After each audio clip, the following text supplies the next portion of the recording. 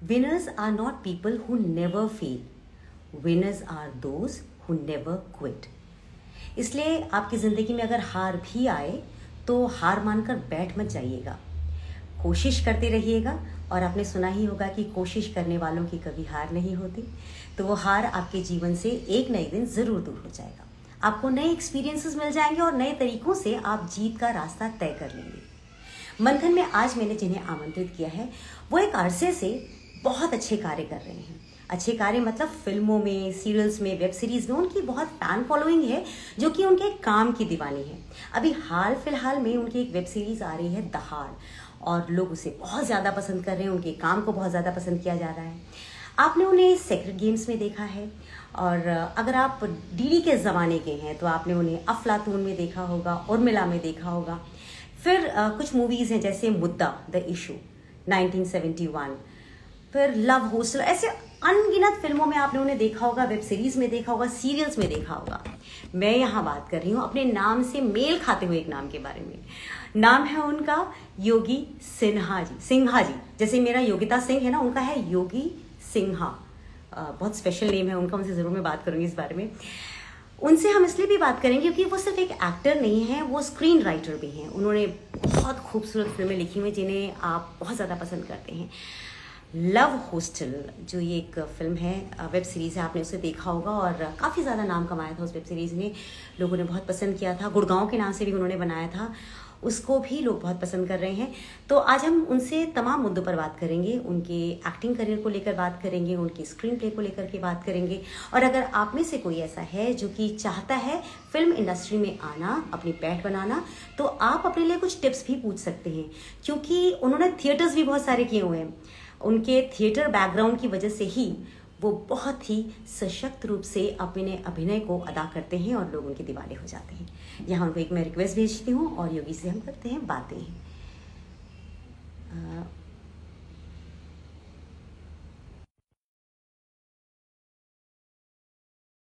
कीजिएगा सर, मैंने आपको एक रिक्वेस्ट भेजा है।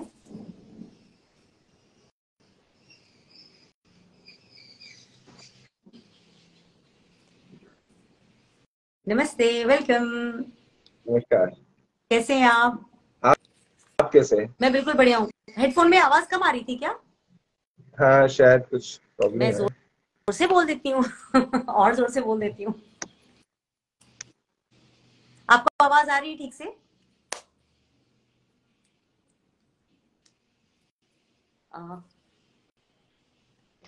हो गया। मैं आप जी मुझे आपकी आवाज़ आ रही जी आवाज़ आ रही है? जी मुझे बिल्कुल। जी। सबसे पहले तो बहुत बहुत शुभकामनाएँ। आपकी दहाड़ जो है उसकी दहाड़ हर जगह सुनाई दे रही है। तो उसके लिए आपको रीमा जी ने काम ही इस तरह का जी धन्यवाद।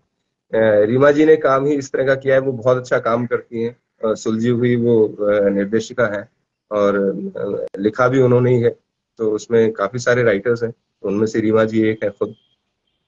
और मैं, मैं एक सीन के दौरान जब ये दहाड़ हमने लॉकडाउन से पहले शुरू किया था जी। और हम बेहद ठंड में हम राजस्थान जैसी जगह पे उसको फिल्मा रहे थे अच्छा। और क्योंकि मैं उसमें एक दलित का किरदार अभी मैं इमोशनल हो गया हूँ जैसे ही दलित मेरे उसमें आया तो दलित का किरदार मैं कर रहा था तो वो जो है वो किरदार उसके पास कोई चद्दर नहीं थी उसके पास कोई किसी तरह का स्वेटर नहीं था। तो एक एक एक एक साधारण से कुर्ते पजामे में वो जो है वो कर रहा था वो, वो कैरेक्टर था और वहाँ ठंड भी लग रही थी वैसा।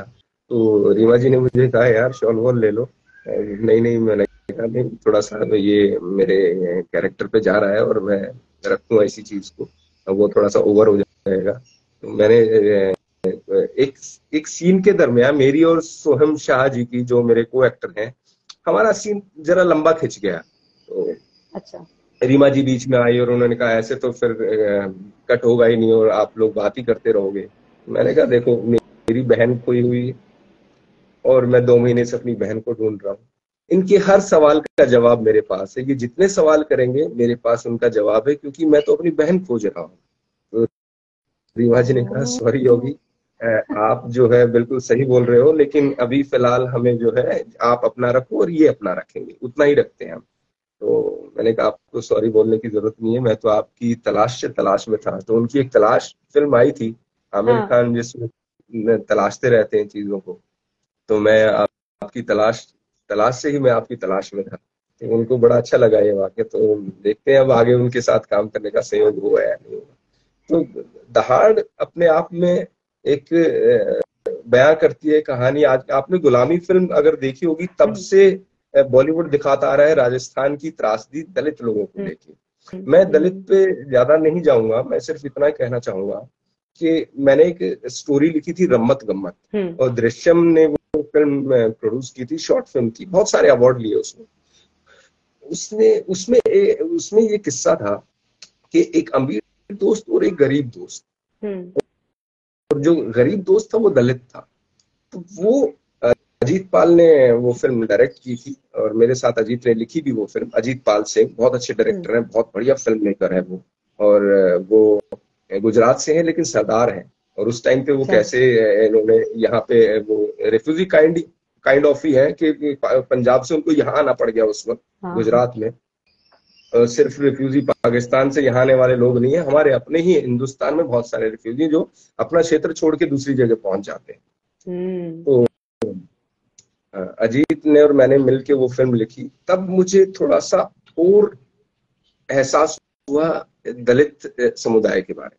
क्योंकि वो कहानी जब आप लिखते हैं तो आपको घुसना पड़ता है उसके अंदर। उन किरदारों के बारे में सोचना पड़ता है उनके उन, उनकी ज़िंदगी के बारे में सोचना पड़ता है। तो वो सारी चीज़ें रमत गम्मत ने बहुत हेल्प की। और अभी अजीत की एक फ़िल्म आई है आप देखिएगा। Fire in the mountain Sony LIV पे वो फ़िल्म है। तो हाँ। बहुत उसने बहुत अवार्ड लिए हैं फ़िल्म में। तो जो है। क्या बात मैं आप मतलब के दर्शक आप, आप जितने भी फॉलोअर आप जहाँ रहते हैं मतलब उस चीज़ को आप हिट कर ही देते हैं। तो आप कहीं हम बस थोड़ा सा डायरेक्टर्स की लकी चाम बन जाए जल्दी से। हाँ नहीं राइटिंग का क्या है? मैं मैंने ज़िंदगी इतने करीब से जी है ना योगिता जी। मतलब मैं लिखता भी था और लिखता क्या था मैं फोर्थ क्लास से मैं लिखता आ रहा हूँ मुझे याद अच्छा? है जी सरस्वती शिशु मंदिर और सरस्वती बाल मंदिर इन स्कूलों में मेरी प्रारंभिक शिक्षा हुई और अच्छा। हालाँकि वो आरएसएस से जुड़े हुए मैं कभी आरएसएस से नहीं जुड़ा हूँ उसमें क्या था कि आ, मैं अपनी माँ के साथ जा रहा हूँ और आ, थोड़ा सा गैप हो गया है माँ ने रोड क्रॉस कर लिया है मैं अभी रोड क्रॉस करने ही वाला हूँ तो एक टेंपो आके ब्रेक लगाता है और जो है पूरे टायर जो है उनका प्रिंट्स आ जाता है रोड पे। और एक तरह का भयाव्य दुर्घटना कुछ लिखना था मैंने वो अपना एकदम प्रारूप जो देखा था मैंने वो सब उसमें लिखा और मुझे अवार्ड मिला है राइटिंग में और फिफ्थ में मैं नेताजी बना सुभाष चंद्र नेताजी क्योंकि वो इस तरह के सांस्कृतिक कार्यक्रम उस उन स्कूलों में बहुत होते थे। हम्म। बल्कि हमारी प्रार्थना भी मुझे एक दो लाइन अभी भी याद होगी इतना जमाना हो गया। मैं चालीस के आसपास हूँ तो वो मैं फोर्थ और फिफ्थ की बात कर रहा हूँ। तो हमारी प्रार्थना ही शुरू होती थी सरस्वती वंदना से। ए हंस वाहिनी ज्ञान दायनी अम्ब विमल मती दे। कि हमें बुद्धि दो और हमें जो है उस हिसाब से जो है हम अपना जीवन यापन कर सकें और विद्या ही सब कुछ है। तो वो वहाँ मैंने फिफ्थ में फिर नेताजी सुभाष किया मैंने और एट्थ आते आते मैंने हकीकत राय प्ले किया। आपको अच्छा। पता है हकीकत राय जी के बारे में? बताइए ना। हकीकत राय जी सियालकोट में चौदह वर्ष की उम्र में ही उनको जो है मौत के घाट उतार दिया था उनको सजा मिली थी मौत की क्या हुआ था मुगल प्रशासन था और हकीकत राय जी कुछ मुगल बच्चों के साथ मुस्लिम लड़कों के साथ भिड़ गए ऐसे ही हम्म। क्योंकि जब तो मदरसे होते थे और जब वो भिड़ गए तो एक दूसरे को उन्होंने गाली गलोच किया लेकिन हम्म। जब मुस्लिम लड़कों ने इनके देवताओं के लिए गुरु नानक और झूलेलाल क्योंकि वो सिंधी लड़का था हकीकत राय। हम्म, तो जब उनकी बात आई तो उसने बर्दाश्त नहीं हुआ और उसने फातिमा माँ को और पैगंबर साहब को पता नहीं क्या क्या उसने बुरे शब्द बोल दिए। और ये बात प्रशासन से जो है बर्दाश्त नहीं हुई और उनको कैद कर लिया गया एक चौदह वर्ष के लड़के। बहुत प्रयत्न किया कि वो किसी तरह से अपना धर्म परिवर्तन कर ले हकीकत हम्म। है तो हम्म। हम आपकी सजा माफ़ कर देंगे लेकिन उसने कहा कि धर्म परिवर्तन के बाद भी तो मेरी मृत्यु निश्चित है मुझे कभी ना हाँ। कभी तो मरना ही है तो क्यों ना मैं अपने धर्म में ही रहकर मैं मृत्यु को गले। लगा तो ये इस तरह का हमने किरदार किया था आठवीं क्लास में था तो आठवीं की क्लास में उसी वक्त मेरे के संगीत अध्यापक से मेरी दोस्ती हो गई। हम्म। जो हमें संगीत सिखाते थे और उस समय ये सब प्रोग्राम हो ही रहा था तो वो आते थे। उनके इंटर के बाद में उनसे मिला। जी। उसने याद किया अरे योगी तुम तो वहाँ थे उस स्कूल में और तुमने हकीकत राय किया था। मैंने कहा यस यस यस सर। हम्म, तो मैं तो अभी आपसे गिटार सीखने आया हूँ। तो थोड़ा बहुत हम्म। मैं गिटार बजा लेता हूँ। म्यूज़िक के साथ है थोड़ी सी रुचि। मैंने कहा थिएटर करना है सर। थिएटर करना है? अभी से मैंने कहा जी हाँ अभी से। तो हम निकल पड़े मंडी हाउस। हम्म। में द्वारका के पास मेरा घर है वो आप दिल्ली के हैं? जी जी मैं दिल्ली से हूँ। ओहो क्योंकि आपने जब जिस बाल मंदिर का नाम लिया वो मुझे ऐसा हाँ। मैंने फरीदाबाद में सुना हुआ है। नहीं उनकी ब्रांचेस थी बहुत सारी। तो उस अच्छा। वक्त जब मैं पढ़ रहा था तो उनके कुछ 44 45 ब्रांचेस थे ऑल ओवर इंडिया में। अच्छा अच्छा अच्छा। अच्छा अच्छा तो। आप दिल्ली में ही तो फिफ्थ होते हाँ फिफ्थ तक होते थे शिशु मंदिर और उसके बाद बाल मंदिर होते थे। हम्म ठीक है? तो हरिनगर उनका ट्वेल्थ इंटर स्कूल होता था। लेकिन हरिनगर से मैंने नहीं किया मैंने नंबर टू नजफगढ़ से किया। अच्छा। तो हम उसके बाद हम जो है वहाँ हमें अरविंद गोड साहब मिले। बोले हम्म, टाइम लग जाएगा। गोड साहब ने हमें कहा बोले टाइम लग जाएगा। मैंने कहा ठीक है अगर टाइम लगेगा तो हम करेंगे। मतलब स्टेज पे आने का टाइम लगेगा। हम्म, तो तब तक आप चाय पिलाओ एक्टर्स को आप रोज आके सफ़ाई करो सेट की। आप जो है देखो चीज़ें और वो सब करते करते फिर हमें एक नाटक मिला good women of Szechwan Kanpur Kanpur की औरत भली राम कली। तो हम्म। उसमें हमने किया थोड़ा सा फिर स्वदेश दीपक जी का कोर्ट मार्शल मिला मामूली आदमी कोर्ट मार्शल उनका कितनी बार वो मंचन करते हैं बहुत बार जी जी जी हैं। जी जी जी जी उनके तो मेरे ख्याल से कई हज़ार शो हो चुके होंगे। और उसके बाद उनकी एक महारत है अरविंद गोड साहब की वो आपको उच्चारण आपका सही कराते हैं। हाँ। हाँ आपका डिक्शन पे वो बहुत काम करते हैं आपकी ब्लॉकिंग पे बहुत काम करते हैं। फिर इसके बाद मैंने कहा ये हो गया ये हम सीख चुके हैं। तो मेरे एक मित्र हैं दीपक डोबरियाल शायद आप जानते हैं बहुत अच्छे कलाकार हैं। हाँ। ओमकारा में जो थे फ़िल्म फेयर भी लिया है उन्होंने। अभी उनकी भोला फ़िल्म भी आई है। अभी फ़िल्म मैंगो करके एक सीरीज़ भी चल रही है उनकी। उम्दा कलाकार है। जी। तो हमने कहा यार बहुत हो गया यहाँ। अब हमें थोड़ा सा आगे बढ़ना चाहिए। तो फिर हम। एक्टर में आए मिस्टर एन के शर्मा के पास कॉमरेड। नरेंद्र कुमार शर्मा और वो काम करते हैं आपकी बॉडी पे आपकी हम्म। क्राफ्ट पे। तो वहाँ से हमने ये सब सीखा और फिर हम वहाँ से भी भाग लिए। तो मैंने अपना स्नातक अपना ग्रेजुएशन बीच में ही छोड़ा और हम हम तीन जन थे जो हम एक टिकट पे फिर हम बॉम्बे आए। मैं दीपक डोपियाल और सीमांत? जी जी। हाँ। हाँ, और फिर तब से बस चल ही रहा है struggle। क्या बात है क्या लेकिन आपने शुरुआत दूरदर्शन से की आपने दूरदर्शन के सीरियलों हाँ दूरदर्शन वो उसका वो भी वो भी एक किस्सा है। मैं मेरे ख्याल से नाइन्थ या टेंथ में रहा होऊँगा उस वक्त हम्म, और पवन जी हमारे इलाके में शूट करने आए और उनको लुंगी चाहिए थी। तो डायरेक्टर थे देवेंद्र चोपड़ा। तो हम्म। मैंने कहा सर लुंगी तो ला के दे दूँगा लेकिन आपको मुझे काम देना पड़ेगा। ब्लैकमेल कर लिया जबकि मैं जबकि मैं तो दर्शक था। तो बहुत हाँ। सारे बैठे थे वहाँ। हाँ, तो ठीक है मैं लेके आता हूँ।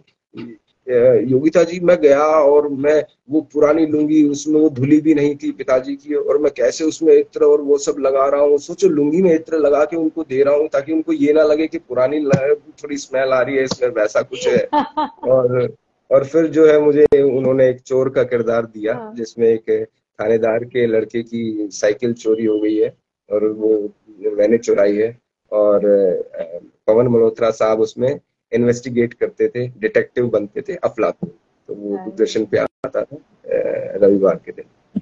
क्या बात है क्या बात है। तो आपकी हाँ। जर्नी जो है है बड़ी खूबसूरत। सीख सीख हाँ, वैसे मतलब- हाँ। कहानियाँ हैं किस्से हैं उसमें। और फिर उर्मिला मिला मुझे यहाँ और उर्मिला एक डेली शॉप था। हम्म। वो किया मैंने उसके बाद मुद्दा मिली सौरभ शुक्ला की कल्लू मामा के नाम से लोग उनको जानते हैं। हाँ लेकिन बहुत अच्छे इंसान है सुलझे हुए। तो उनकी वो डेब्यूटोरियल उनकी फ़िल्म थी मुद्दा। तो। वो हमने की उसमें प्रशांत नारायण नवाजुद्दीन और रेखा वेद व्यासा एक साउथ की हीरोइन थी उसमें। और अपने नवाजुद्दीन साहब ये सब लोग और एक गाँव की पृष्ठभूमि पे थी कि किस तरह जमींदार के बच्चे और गरीब बच्चे मतलब नहीं एक साथ नहीं रह सकते। वैसा कुछ था। हम्म। फिर हमें पीड़ितों का पीड़ितों का ध्यान में रखते हुए ज़्यादा हाँ, शायद वो है पिछले जन्म पिछले जन्म का कुछ है।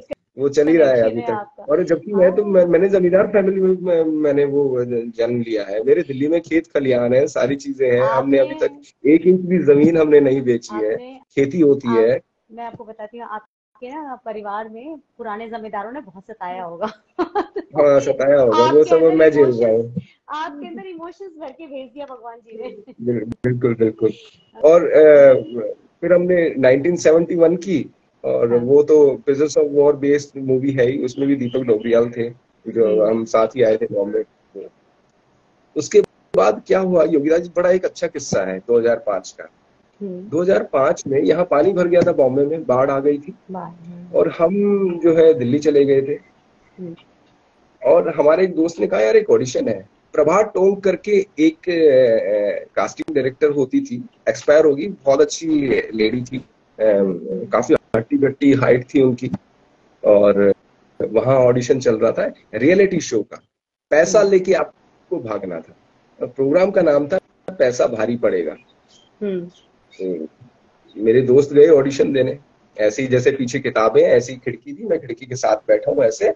और अंदर की ऑडिशन की आवाज़ मुझे आ रही है। तो उनसे पूछा गया कि आप अगर आपको ये दस लाख रुपए मिलते हैं तो आप क्या करेंगे? उनका हम्म। मैं अपनी बहन को घुमाऊँगा स्विट्जरलैंड लेके जाऊँगा और हम्म। अपनी जो है बहुत सारे और चीज़ें हैं वो करनी है मुझे। मैं अपने परिवार पे खर्च करूँगा। हम्म। मुझे लगा शायद ये इंटरेस्ट नहीं ले रहे हैं इसकी बात में शायद हवाई बातें हैं। फिर मेरा नंबर आया मुझसे पूछा उन्होंने कि आप क्या करें? मैंने कहा सर शादी करूँगा। शादी करनी है। जैसे ही पैसा मिलेगा शादी करूँगा। वो हाँ। समझ गया यार ये तो बना के बैठा है और ये जीतेगा। हाँ। तो हाँ और मैंने कहा फ़िल्में देखने का शौक है तो डीवीडीज खरीदूँगा और मैं उस समय डीवीडीज का जमाना था। और मैंने कहा मैं एक डीवीडी प्लेयर खरीदूँगा अच्छा और बस बस फ़िल्में देखनी है और शादी करनी है। तो उन्होंने कहा ठीक है। वो वो मैंने जीता और उसमें क्या था कि अगर आप पानी पियेंगे तो पानी था चालीस हज़ार रुपए का। अगर आप ग्लूकोन डी पियेंगे तो ग्लूकोन डी था सत्तर हज़ार का। और बीस बीस के नोट थे। तो बीस बीस के नोट अगर आप एक लाख रुपए इकट्ठे करते हैं तो उनमें चार किलो वज़न होता है। और उसमें पहले से बैग में कुछ होता है और वो था ऋषिकेश में। आपको नदियों से चलना है, आपको रसोई है, आपको राफ्ट चलानी है तो बहुत सारी उसमें चीज़ें थी। तो मुझसे पूछा गया, योगी जी, आप पानी भी नहीं पी रहे हैं? मैंने कहा, देखो, मैं किसान का बेटा हूँ। चालीस हज़ार का पानी शायद अंबानी भी नहीं पीता है। तो मैं शायद नहीं पी पाऊँगा, चालीस हज़ार का पानी। क्योंकि वो आपको अपने बैग से निकाल के देने थे वो पैसे। उतने पैसे आपके हम्म। कम हो रहे थे। हम्म। आप रक्से से जाएँगे तो आपको पचास हज़ार रुपए मिलेंगे। आप सीढ़ियों से जाएँगे आपको एक लाख रुपए देने पड़ेंगे। आप राफ्ट खुद चलाएँगे तो आपके तीन लाख रुपए सेफ़ है। अगर आप राफ्ट चलवाएँगे तो आपको तीन लाख रुपए देने पड़ेंगे। तो ऐसे ऐसे करके मैंने पाँच लाख बीस हज़ार रुपए बचाए। अच्छा। और ये हम पाँच जन थे जिसमें साई देवधर भी थी टीवी से कुछ लोग इन्होंने हाँ, बॉम्बे हाँ, से भी हाँ। लिए थे अच्छा तो उनको बेचारी को बुखार भी हो गया था उस दौड़ में क्योंकि वो सरगर्म वाला चक्कर था कभी पानी में कभी बाहर पसीने फिर पानी में फिर आप वैसा कर रहे तो वो, वो मैंने पाँच लाख बीस हज़ार रुपए जीते क्योंकि सात लाख बीस थे मेरे पास और एक हाँ। एक एक जगह एक जगह आके पानी का इतना तेज बहाव था कि वो मुझे फेंक रहा था पानी तो वो फेंक रहा था तो मैंने कहा ये मैं नहीं करूँगा मैं ब्रिज से जाऊँगा। तो ब्रिज से जाने के मुझे दो लाख रुपए मुझे देने पड़े। वहाँ मेरे पैसे कम हो गए तो मेरे पास पाँच बीस बचे। वो पाँच बीस का किस्सा भी आगे मैं आपको बताऊँगा। यहाँ मैंने वो पाँच बीस शादी की और इन्वेस्ट कर दिया क्योंकि दो हज़ार पाँच में पाँच बीस की कीमत ठीक ठाक थी और फिर रिसेशन भी आया था। सच में सच में पाँच बीस लेके शादी की है? सच्ची में? जी। और मे, मे, मेरी तो यहाँ मराठी लड़की से मेरी दोस्ती थी और हम दो साल से ऐसे ही भटक रहे थे तो मुझे पैसा चाहिए था और मैं तो दिल्ली से हूँ और ऐसी फैमिली से हूँ कट्टर कि मतलब आप समझो लव हॉस्टल जो मूवी है हाँ। वो कहीं ना कहीं मेरी ज़िंदगी से जुड़ी हुई है वो कैसे हम्म। कि लव हॉस्टल में जो किरदार है एक मुस्लिम लड़का और हिंदू लड़की हम्म। अब उन उनके पीछे खाप लगी हुई है तो हम्म। सेम योगिता जी मेरी ऐसी दोस्तियाँ होती थी कॉलेज टाइम में या फिर स्कूल टाइम में और फिर मैं उनको थोड़े दिन बाद मैं उनसे दूर हो जाता था।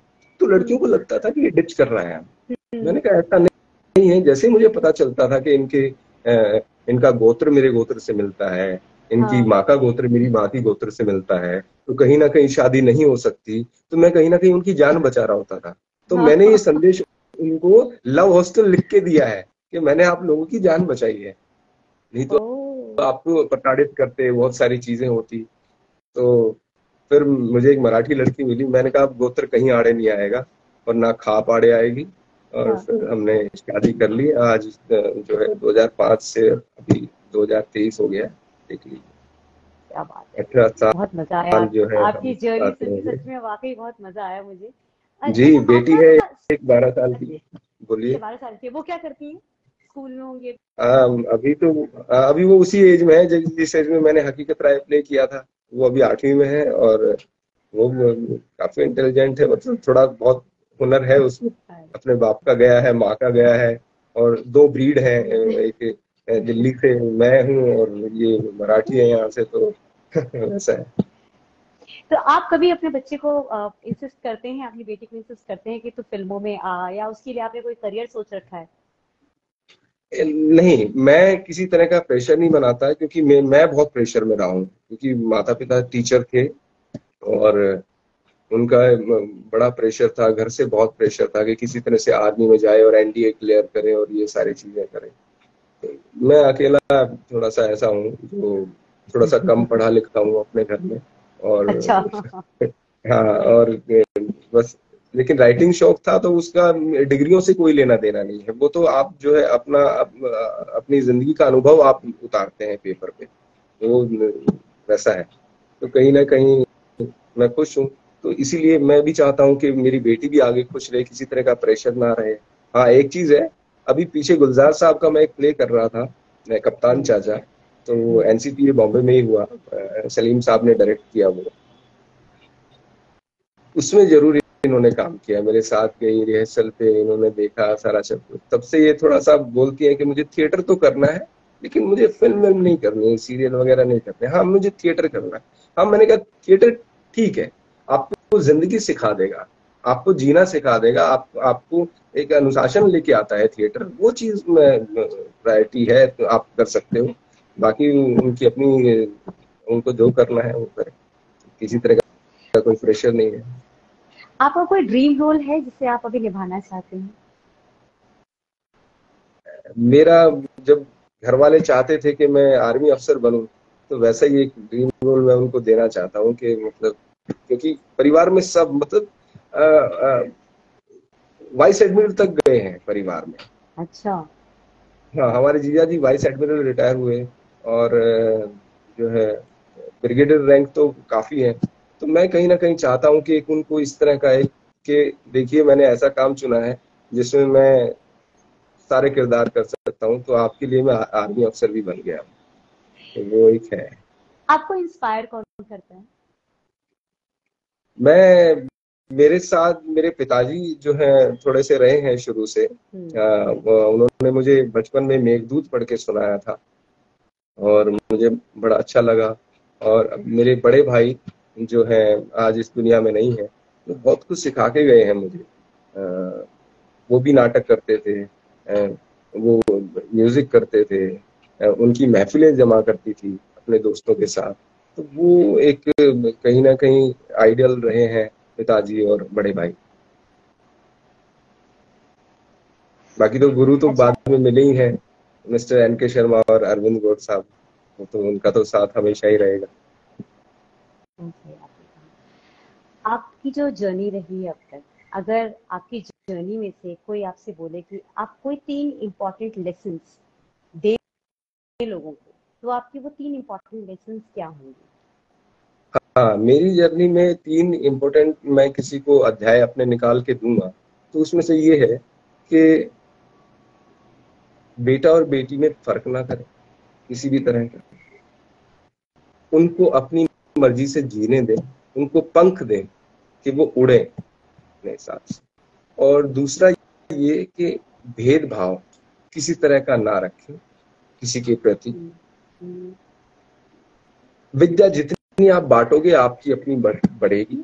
आप दान करें। और ब्लड डोनेशन में थोड़ा सा सहयोग करें ब्लड बैंक। अगर बस यही है चीज़ें। मैं देता रहता हूँ। ब्लड ब्लड से मैं थोड़ा सा ऊपर उठ गया हूँ। आजकल मैं प्लेटलेट्स देता हूँ। तो अच्छा। लोगों को तो वहम है मैं इसका वहम थोड़ा सा दूर कर देता हूँ। ब्लड हम्म। के लिए जब हम सक्षम होते हैं जैसे मैंने आज दिया तो मैं नब्बे दिन बाद दे सकता हूँ। ब्लड हम्म। ये होता है मेल का। फीमेल हम्म। का होता है चार महीने का। क्योंकि उनका एक महीने का मासिक धर्म का वो कट जाता है। तो उनका फोर्थ मंथ का होता है मेल का थ्री मंथ का होता है। और प्लेटलेट्स इसका महीनों से कोई लेना देना नहीं है। प्लेटलेट्स आपकी चार घंटे में वापस उतनी ही हो जाती है। सिर्फ़ आपको चार घंटे का प्रिकॉशन रखना है। वो प्रिकॉशन क्या है? आपको वज़न नहीं उठाना है। हम्म। आपको अपने शरीर पे किसी तरह की चोट नहीं लगने देनी है ताकि आपका ब्लड हम्म। ना निकले और आप रेस्ट हम्म। करें। सिर्फ़ चार घंटे। उसके बाद आप वापस वही तरोताजा इंसान है जैसे आप पहले प्लेटलेट्स देने गए थे। फिर से तैयार है देने के लिए। तो आप अच्छा किसी को पचास हज़ार लाख मैं एक किस्सा बताऊँगा यहाँ पे गांधी मेमोरियल हॉस्पिटल है बांद्रा में। मैं गया योगिता जी और मैं व्हाट्सएप पे भी नहीं हूँ कहीं भी नहीं हूँ मैं तो नॉर्मल फ़ोन यूज़ करता था नोकिया का। सिंपल स्नेक गेम वाला ठीक है? हाँ। वो जी। आ, मैं गया और वहाँ मैं एक एड देखने लग गया डेंटल केयर की तो वहाँ से एक मोहतरमा उठ के आई आप योगी हैं? मैंने कहा जी. हम्म। आ, मेरे ही बच्चे को प्लेटलेट्स देनी मतलब उसने मुझे कभी देखा नहीं। एक वाइब्स एक माँ उठ के आई। वो मुस्लिम लड़का था और आके कहा कि आप योगी हैं आप मेरे बच्चे को वो देने आए हैं खून? मैंने कहा खून नहीं प्लेटलेट्स में देने आए हाँ। हाँ वही वही हमें बोलना नहीं आता है। तो हम जो है मतलब ऐसे भाव विभोर हो गए मतलब क्या बताएँ मतलब वैसा हो गया था मतलब कैसे इन्होंने पहचान लिया मुझे? यहाँ पे कितने लोग आते हैं हॉस्पिटल में? कोई भी आके यहाँ खड़ा हो जाएगा और ऐसे ऐड पढ़ने लगेगा। हर कोई योगी नहीं हो सकता, लेकिन वो उसने पहचान लिया मुझे कि ये वही हैं जो मेरे बेटे के लिए आए हैं। तो मैं लोगों से निवेदन करूँगा, आपके दर्शकों से निवेदन करूँगा, जितने भी लोग हमें अभी फॉलो कर रहे हैं, सुन रहे हैं, देख रहे हैं ब्लड डोनेशन में योगदान दें आप ज़िंदगी बचा सकते हैं। बिल्कुल सही बहुत अच्छा मैसेज आपने दिया है। मेरा एक सवाल अभी रह ही गया जो कि बहुत पर्सनल होता है यूजुअली आपको किसी बात का कोई रिग्रेट रहता है कभी? हाँ रिग्रेट मैं आज शेयर करता हूँ आपसे। बड़े भाई के वक्त तो मैं छोटा था। मंझले भैया जब एक्सपायर हुए,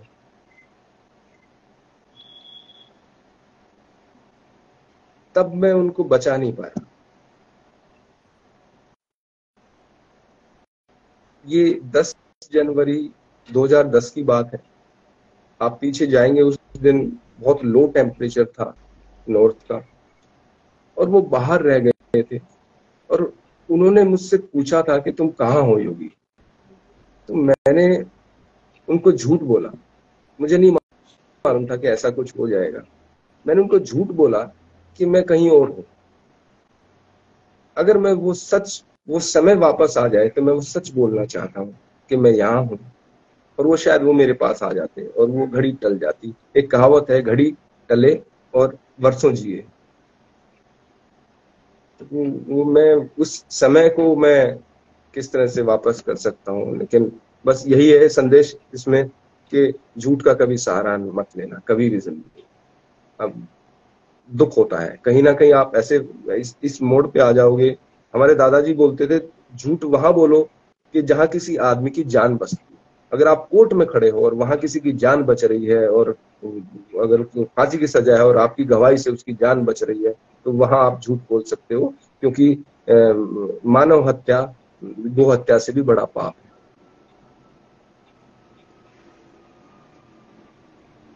चलिए अब जो चीज़ गुजर गई बात तो उसको वापस ला पाना तो बहुत मुश्किल है लेकिन हाँ हम उन चीज़ों से सीख ज़रूर ले सकते हैं।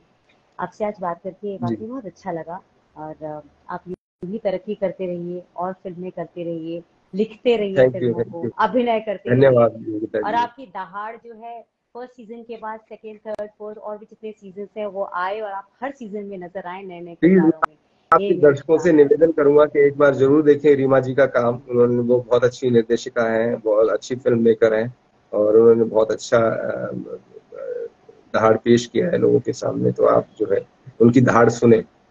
ज़रूर सब लोग सुनेंगे और मुझे लगता है कि आपको रिव्यूज़ भी बहुत सारे मिलने शुरू हो ही चुके हैं। Thank you so much Yogi ji. आपसे बात करना बहुत अच्छा रहा। थैंक यू नमस्ते। हमें भी अच्छा लगा। मस्त रहें स्वस्थ रहें और व्यस्त रहें। Thank you sir thank you